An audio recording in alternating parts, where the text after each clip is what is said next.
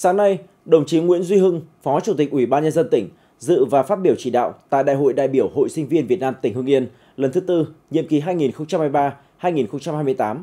Dự đại hội có đồng chí Quách Thị Hương, Ủy viên Ban Thường vụ tỉnh ủy, Trưởng ban dân vận tỉnh ủy, Chủ tịch Ủy ban Mặt trận Tổ quốc Việt Nam tỉnh. Hiện nay trên địa bàn tỉnh có hai trường đại học, ba trường cao đẳng có tổ chức hội sinh viên với trên 10.300 hội viên, phát huy tinh thần tiền phong, sáng tạo hội nhập.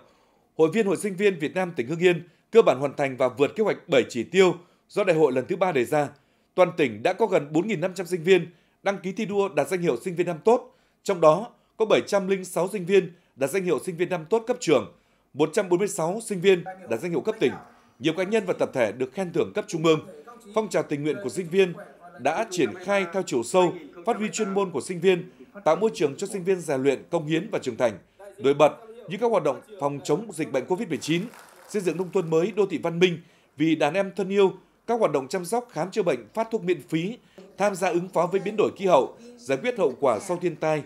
chiến dịch mùa hè xanh. Phát biểu tại đại hội, đồng chí Nguyễn Duy Hưng, Phó Chủ tịch Ủy ban nhân dân tỉnh đề nghị các hội sinh viên tiếp tục phát huy tinh thần sung kích của tuổi trẻ, phấn đấu vượt các chỉ tiêu đại hội đề ra, nhất là về chuyển đổi số, đổi mới, sáng tạo.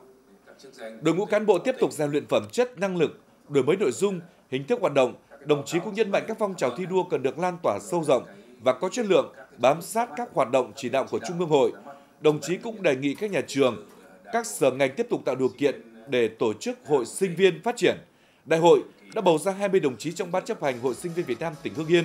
khóa 4, nhiệm kỳ 2023-2028.